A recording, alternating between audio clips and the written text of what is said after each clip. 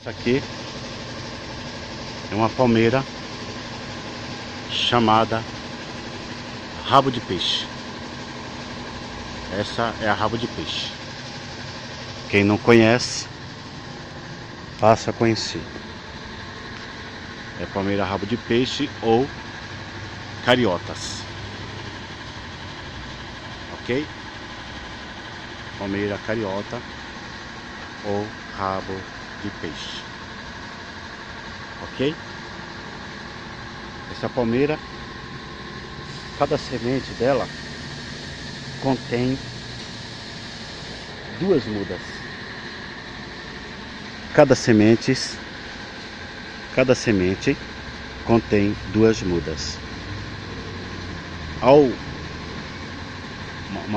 ao pegar nessas sementes, use luvas e camisas de manga comprida, ok? Porque ela tem uma química e que deixa a mão muito irritada e a pele.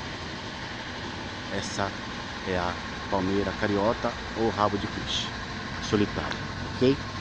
Um forte abraço, fica com Deus, até o próximo vídeo.